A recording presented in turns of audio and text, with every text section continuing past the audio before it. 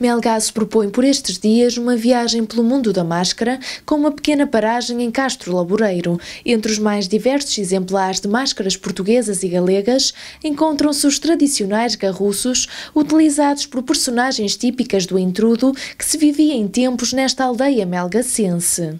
A gente ficou com aquela memória antiga na cabeça, quando éramos assim novinhas havia estes fatos, então nós ainda andamos com eles.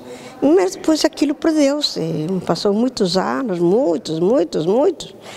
E depois, numa altura, aquelas senhoras são minhas primas e nós uh, dissemos, e nós íamos vestir-nos de frangalheiros, como antigamente, íamos correr os entroidos aqui na vila e íamos fazer aqui o palhaço com, com os entroidos à moda antiga. En Castro Laboreiro foi unha sorpresa porque eu mm, fora a fotografiar mulleres e de repente estas mesmas mulleres me contaron que sí, que sempre existiran máscaras e que antigamente iban de unha aldea a outra eh, bueno, mm, vestidos con o que tiñan na casa a mao e algunha cousa que poñían algún pucho na cabeza que, e agora elas mesmas as recuperaron, estou moi contenta. O município quer recuperar as típicas máscaras de Castro Laboreiro para manter viva uma tradição antiga neste concelho. Nós estamos a tentar recuperar os garruços, aquilo que elas utilizam na cabeça.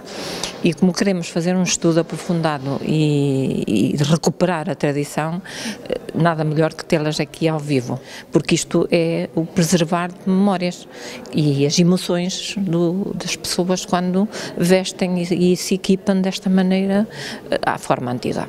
Até 27 de fevereiro, mais de uma centena de fotografias está em exposição na Casa da Cultura de Melgaço.